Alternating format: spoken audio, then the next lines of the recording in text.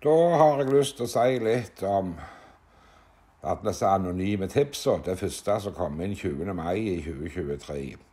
Altså Da skriver han ønsker å melde om en mengde tiltak som er gjort på Sørlandske hovedvei i Larvik. Se salgsannonsen. Altså dette er ulovlig, så forstår jeg ikke så mye, men de skriver da det kan være fare, medføre fare for liv og helse.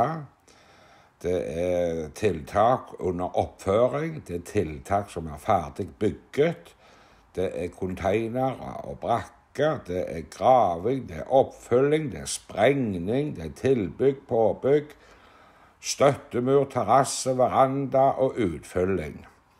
Det virker liksom som de, de eh, De vet ikke Ja. Den mengde Altså, de prøver å blåse dette veldig opp.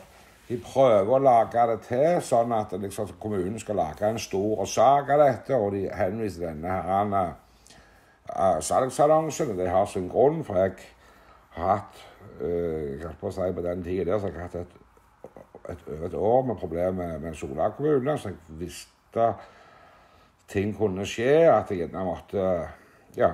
For jeg, vet jeg var under angrep i 2014 av Sola kommune. Jeg vet det er høyere makter i Rogaland offentlig så har De har hele kosteriet rundt så kalte jeg på å si, med politi og media og dette her laga. Når de ikke finner noe på deg, så, så lager de bare noe på deg.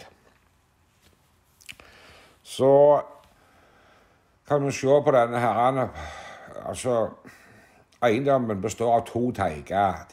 Et gårdstun, dyrka skogseiendom. På skogseiendom er det tydelig gjort store oppfyllinger. Utfyllinger, graving av sandtak, drenering, nedsetting av kummer i skogsområdet som har høy bot, botinitet tidligere. Altså Hadde dette vært noen i Larvik eller naboer så de rett og slett drede seg ut med skrive det, for alle vet det er jo ikke botanitet. Det er jo ikke skogherrene. Så de har funnet et fint ord ikke på Jæren, ikke vet helt hva for noe, og føler bare for å overdrive noe grævlig. Så for dette, dette, fører seg inn i det alle de utallige anonyme tips jeg har mottatt før. Da er det alltid enorm overdrivelser. Så, så, så, jeg forsto dette med en gang, men, men, det er jo ikke så enkelt å få andre å forstå det. Men jeg, jeg leste det med en gang.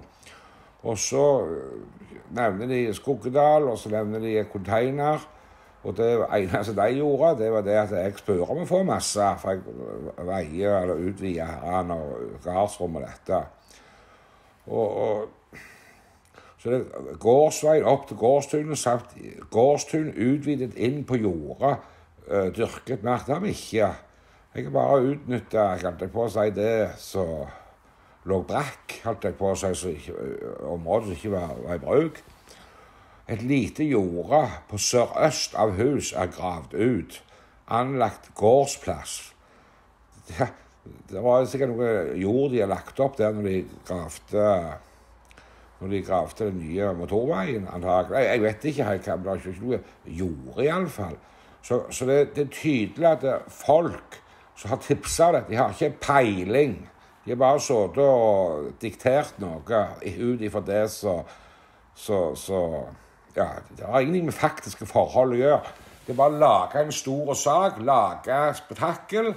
Og, og, ja, så dette har, jeg vært, dette har jeg vært utsatt for mange ganger før. Første gangen var i 2014. Da var det kraftige overdrivelser de holdt på med. Så det, det, er ikke nytt for meg, dette her, Anna. Så Men ellers så, så kan en se på bilder her, Anna, at det, det, var ikke mye plass. Det var en vei som lå opp til meg her, Anna. og den der, ja, så kan se sjøl. Bilder sier Groen sjøl hvordan, det var her. Anna. Så at du går inn og, og moderniserer dette og lager det. og forsterke veien og, og liksom jeg, kan, jeg, ser ikke gale jeg ser ikke, jeg ser ikke hva som er galt med det. Hva skulle jeg søkt om, holdt jeg på å si. Ja, altså, ja, det er ikke noen naboer, det er jo ingenting. Her tar jeg bare ut noe masse, lemper det over veien der, og, så jeg kan kjøre det vekk igjen, og, og en utnytter den en stripa som ligger der til nabogrensa. Og så nivellerte ned gårdstunet òg, sånn at det er beinere, ikke så bratt. Så får snuplass.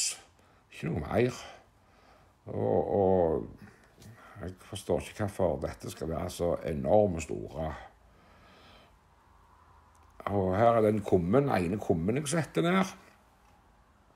Og her er bak bløa, liksom bare for å rette det opp. Nå er vi ut i, i, i marka, holdt jeg på å si. Ja. Uh, Gjerne på fjellet. Det andre er steinmasse, overskuddsmasse som jeg fikk. Her står datoen òg på bildet. Da er det tilbake rundt driftsbygningen for å utnytte det arealet. Få det beinere, så du kan parkere. Her er veien kommet på plass. Her får jeg, øh, nå er det plass til å komme opp med. Og de, her er den muren så Støttemuren, som òg lagde stort nummer av jeg hadde bygd. Jeg forstår ikke hva gleden noen har av å, å, å sende sånne, sånne, ting som dette her inn. Da er vi oppe i det på det fjellet. Der lager jeg adkomstvei. Der drar vi vekk matjorda, så jeg får vi inn steiner og masser og overskuddsmasser som kan brukes til å bygge vei med. Det er ikke mer hemmelighet enn det. Her er det et flyfoto, og det Flyfoto, det, det sier jo ganske Jeg holdt på å si en hel del. Du ser en, en, en liten lastebil, og så dumperen som står der, og så, og så liksom en, en S, en vei oppover, liksom, for å komme til med masse. Det er jo gamle skogsbilveier, eller traktorveier, kan du kalle det. Ikke skogsbil, men traktor. De kunne kjørt på traktor tidligere. Og det spurte jeg av føreren hva jeg skulle gjøre. og Da, så det var fullt mulig å, å gjøre. Her ser du litt av det problemet med, med med, med disse herrene trærne som kveltrer. Enten så kveltrer de, eller så råtner de, eller et eller annet. Så pga. de ikke får slå røtter. Og en ser òg allikevel òg herrene Det er fjellgrunn. Så det er et annet liksom et annet tre rundt forbi, men det blir aldri noe av det. Så det er jo fjell. Her oppe det på disse fjellene. Og, og prøve å utnytte lagene, fylle litt innimellom. Og lage på veier og prøve å gjøre dette om. Her er òg tre seg kveltrer. Tre seg råtner. Her er òg klær når det er så lite jord, så, så tar vinden de, og så legger den de flate. De ja, skjer sånn som det der. Masse stein og dritt. Det er ikke verdig på det. Nå er vi da over i uh, Der står jeg og filmer på, på sida av motorveien. Så ser det knapt nok opp. Det, det, du ser uh, uh, Det er noen få naboer, så de merker jo ikke noe av dette. Da er det noen bilder jeg bare tok, liksom, så kan se nærbildet, hvordan det ser ut. Så det skal jo ikke sjenere noen. Det er jo Du må jo helst ha kikkert linser, for å se det. Men det skal få seks anonyme tips på fem måneder. Så, så det, er, det er så uvirkelig. Og når denne brannen som var på topp, toppen på alt altså, så, For det har jo vært folk som tok bilder. Jeg vet det har vært folk som tok bilder i området og snoka. Så jeg kan ikke ha noe TV-overvåking. eller Det gidder jeg ikke. Hvis det er noen som mener de har det så travelt med hva jeg holder på med, så får jeg heller trekke meg ut. Jeg skal ikke irritere noen på av dette. Det er ikke min interesse. Men det er det er ikke alt vi skal forstå. Så her er det da Lågendalen oppover. Så fin utsikt, får kveldssolen inn, så det er jo et flott område sånn sett. Men jeg bare har utnytta eiendommen best mulig. Der, for jeg er 95 mål der, så jeg prøver å utnytte det best mulig. Det er ganske utrolig. Og nå kommer jeg over på dyrka jord, så jeg, jeg syns det er helt utrolig. Men det er litt dårlig Det er en, en del klipp her, men noen er bedre enn andre. Det er litt støy i noen av de. Men det er for å få litt innblikk i hvordan jeg ser dette. Det er ganske utrolig å se samme feil blir gås på kommune på kommune. De bygger ned god landbruksjord. Så har de mer enn nok fjell å bygge på i dette området. her. Så tar de det beste av landbruksjorda. Dette begynte de med for noen år siden.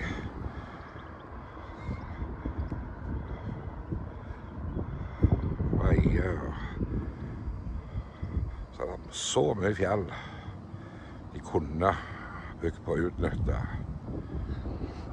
Det syns jeg er veldig lite gjennomtenkt av de som driver og planlegger.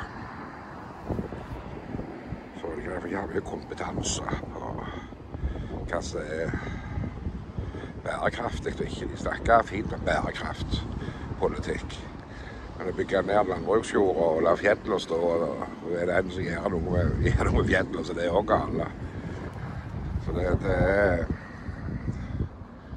Det er trist. Men sånn er det blitt med de politikere og byråkrater som ikke har skikkelig kompetanse. Så opplever en sånne ting som dette. Her òg er det store områder som ligger mer eller mindre maks på noe å utnytte. Her òg områder som så er sentrumsnær alt det der, men de, det ligger der sånn som dette. Og så bygger de ned lager til industritomter forskjellige rundt andre plasser. For ja, det er jo ikke behov for de står jo tomter for salg, så de er jo ikke solgte tomtene. Så tror du det er én paragraf du kan benytte deg av, så så finner de alltid byråkrater en annen paragraf å slå dette i hjel med. Det virker som det det er noen skal få lov til å her det de vil, og noen får ikke lov til noen ting. Jeg syns det er noe snodig, hele systemet borte. Dette er òg et område som er bygd ned de siste åra. Jeg kom her til Larvik. Her var det dyrka jord før. Så jeg lagde det til industri. Nå er jeg rett over i Sandefjord, naboen, grensa med Ikke langt fra der jeg bor, med, med, med Larvik. Her er et kjempestort område. Her tror jeg Jeg vet ikke, for det lå sånn som dette når jeg kom her i 2020. Og det var snakk om det skulle være Ikea som skulle bygge her. Men så ble det ikke likevel tett i motorveien. Men det er iallfall ser ut som det har vært fjelltomt de har lagd til. Men så ligger det bare sånn. Så det viser at det er mer enn nok tomter til å bygge på hvis det er det de vil. Men likevel så tar de trauer av jorda og lager industriområder av landbruksjord òg. Så det, det forstår du den som kan hvordan disse lover og regler eh, blir praktisert i Norge i dag. Politikere og byråkrater. Jeg er sikker på det. Hadde, det, hadde hatt de samme byråkratene og, og politikerne på 70-tallet, så hadde Norge vært ennå i steinalderen. For at det som er positivt, det blir er problemet med utfordringer til å og paragrafer. Og det som er idioti, det så er det ingen som stiller spørsmål med. Jeg vet ikke, men det er iallfall ikke problem å, å med tomtearealet her. Og du trenger iallfall ikke ta dyrkbare landbruksjord. Det, det må en galen kunne se. Så det må være noe riv ruskende gale med systemet, syns som jeg ser det iallfall. Jeg vet ikke hva som skal bygges her, men vi er rett på sida av den der Det som, skulle være Ikea-tomta, som er store. Så de gjør til mer og mer utbygging. Men hva som skal være i alle disse bygningene, det er jo uh, mer usikkert. Jeg vet ikke. Men det er jo galskap. Det er så mye fjell og så mye ulent. de kunne bygd på, så tar de flat og gode dyrka jord. Så det er jo ikke akkurat så gjennomtenkt mye av det. Så det er jo trist.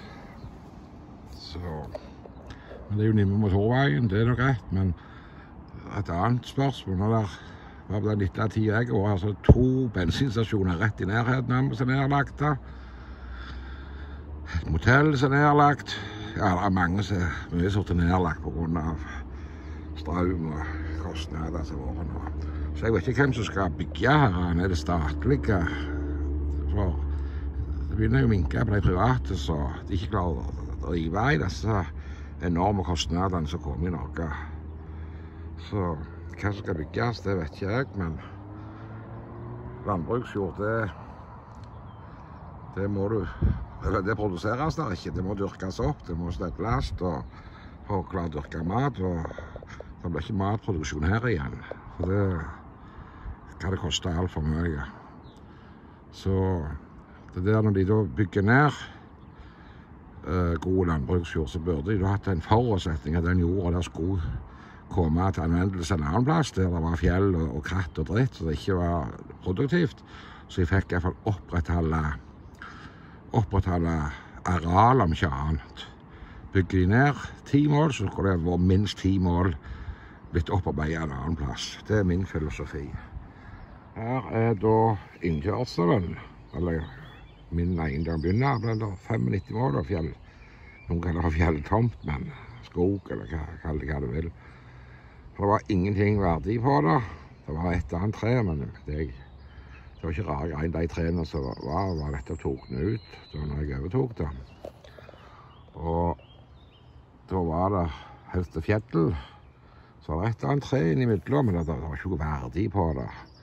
Og det var noen traktorstier som du kunne kjøre på, men, men det var jo ikke mer heller. Så det som jeg har gjort, jeg oppgraderte, så nå kan du kjøre inn med biler og ja, hva du vil. For å komme, må jo det for å komme inn med disse overskuddsmassene. Så dette er jo det som var da så voldelig uh, ulovlig. Og de snakket om noen kummer noe, og de kummene Det er en kumme jeg har sett ned, ja, men eller de kummene som ligger her, det er bare noe jeg, jeg holdt på å si som jeg har fått. Så jeg tok vekk andre som jeg kan gjenbruke dem for.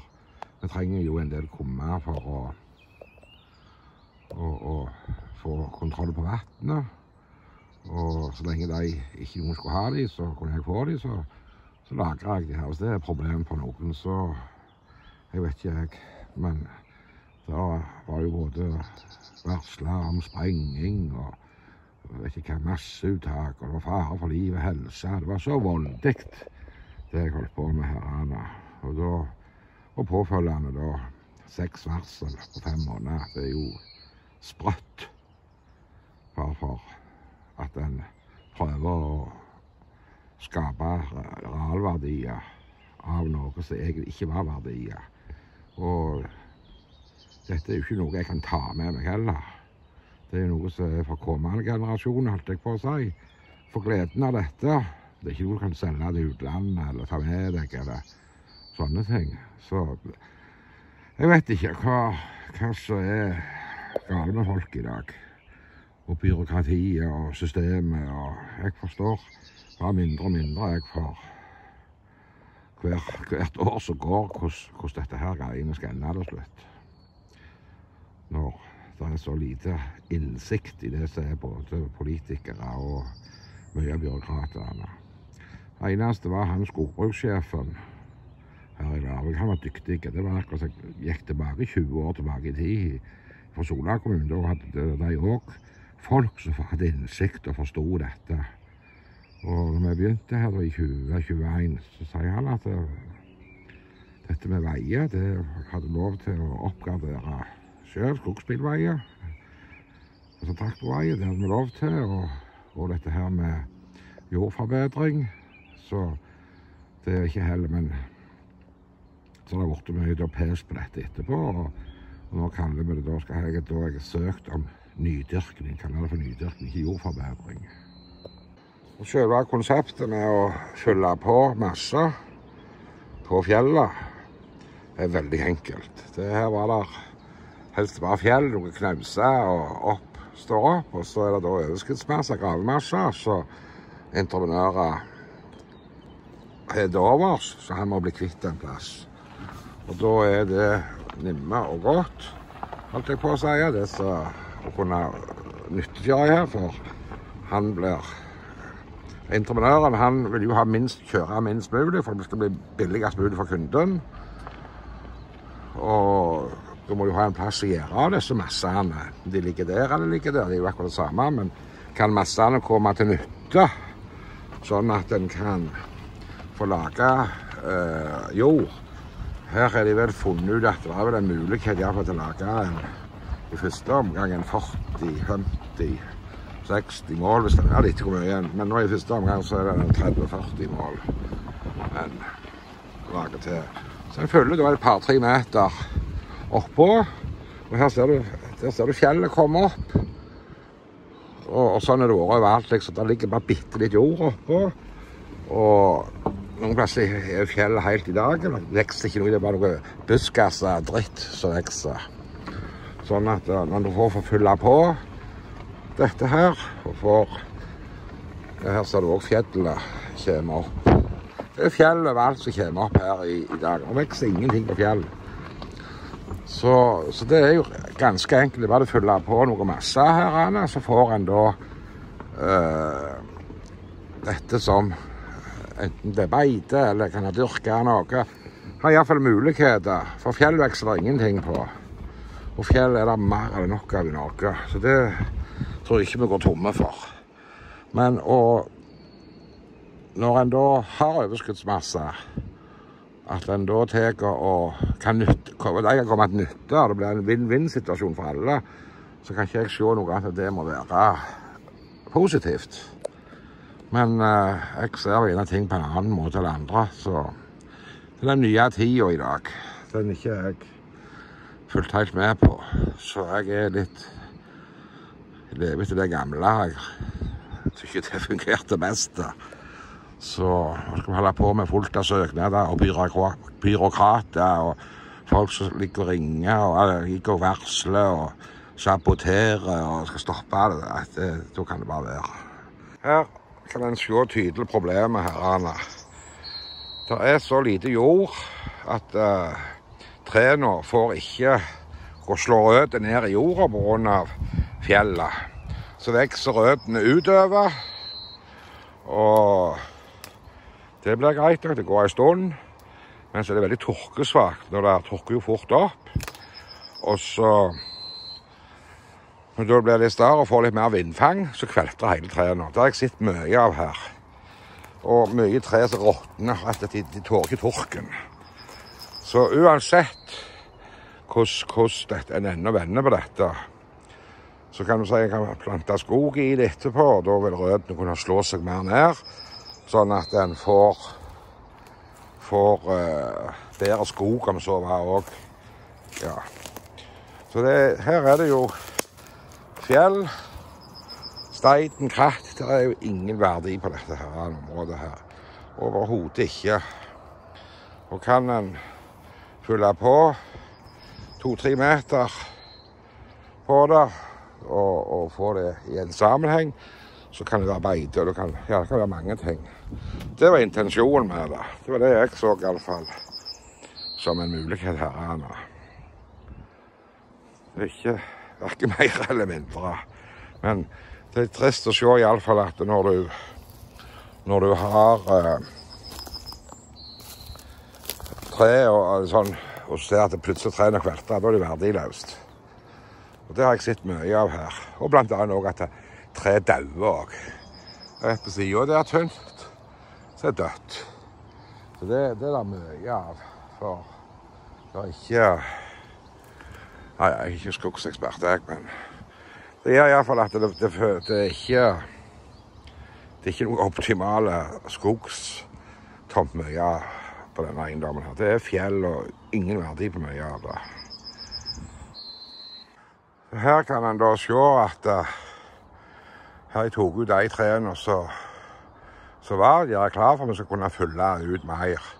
Og så er det mye daut. Daue trær innimellom.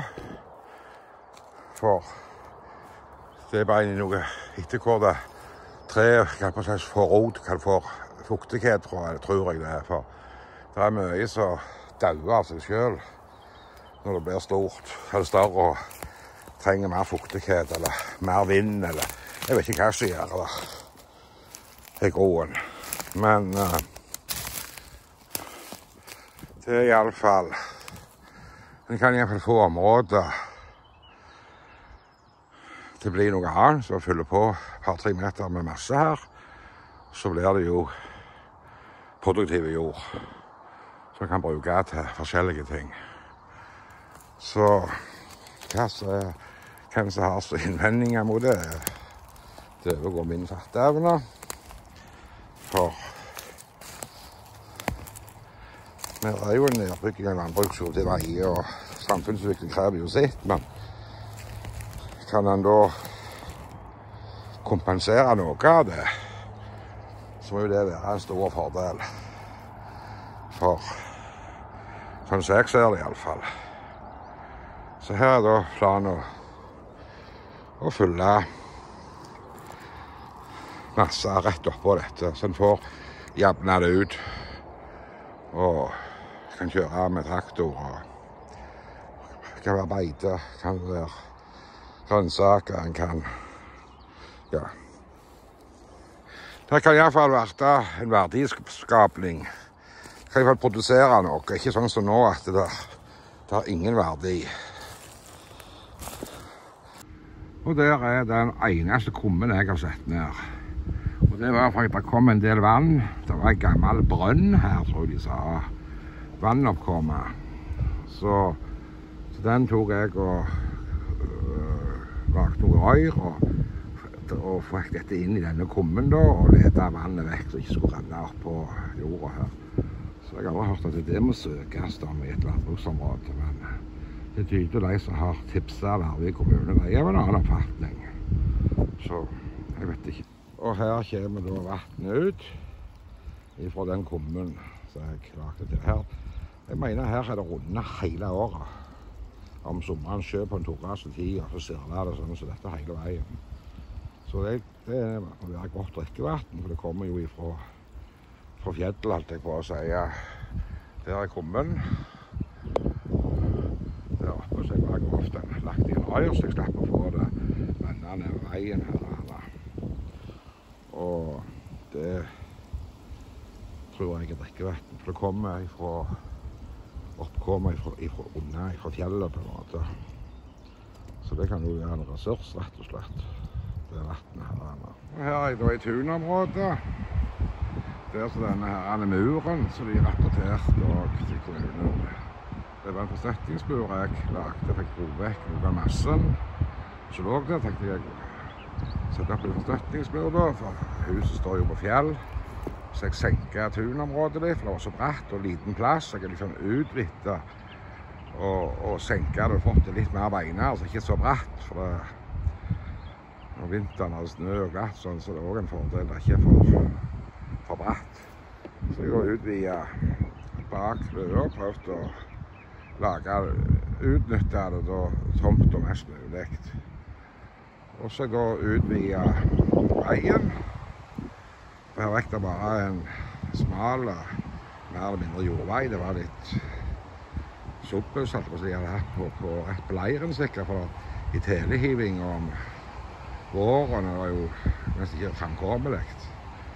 For det var liksom Det var ikke men jeg trengte ikke noe mer på den tida før i tida. Så, så, liksom det ikke Og det vet jeg når jeg kjøpte gården, så var det liksom mange som sa det var så mye som måtte gjøres ut forbi og med huset, og det var riktig.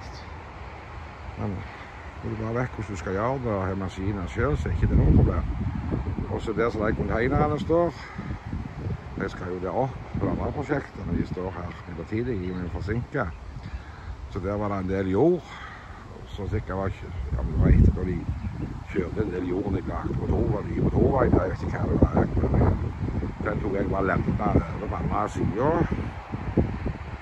Og så lagde vi en liten Planen var en kjøkkenhage her, et drivhus og det, men nå blir det liksom Lufta er ut på en måte, sånn at dette blir jo ikke Det var så mye tull. Så min intensjon var iallfall god. Sett frukttre der, Anna. Er groen. Så hva jeg skulle søke om her, det, det vet jeg ikke. Men det er iallfall noe av det de kaller for ulovligheten jeg har gjort. Og hvis dette er ulovlig, og skal lage et voldelig styr om og fullt av Lage en sak av Ja, ja. Så det er ikke det meg som skal være her, iallfall. For dette her er bagateller. Og eier du en eiendom, så har jeg lov å føre det at, at en skal måtte søke for hver minste ting. Det trodde ikke jeg, iallfall. En ting er hvis det hadde vært nabo som hadde forulempa, så er det noe helt annet. Nå er jo ikke nabo i mils krets, holdt jeg på å si. Så jeg forstår ikke helt hvem, hvem det skal plage av dette her. Og iallfall ikke hvorfor det skal gå sport i og denne anmeldelsene til kommunen. Så jeg, jeg, forstår det ikke. Men det er ikke alt vi skal forstå i det, dette samfunnet vi lever i nå. Men, men. Prosjektet er jo på langt nær ferdig. Har jo masse til en hadde planer om å gjøre. Men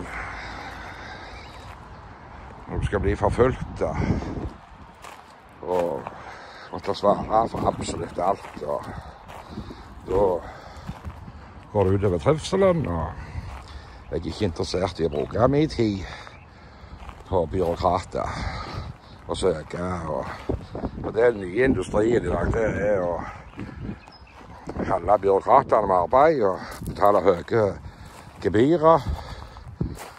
Jeg vet det at når jeg Her vil jeg òg Planen var å sprenge ut noe av fjellet her Anna, for å få litt bedre adkomst. For det at fra annen etasje på huset til opp til andre så er var veldig bratt ring trapp. Så derfor skal jeg ha en inngang oppe her Anna. Og så da lagde jeg til denne ekstra inngangen her Anna. Og så slipper jeg å gå i de bratte trappene. Jeg tror Nei, jeg gikk til et firma her i dag. Jeg tror Pika betalte borti 30 000 for han skulle tegne noe. og søknad. Men det var midt i koronatida. Det var så mye fram og tilbake da.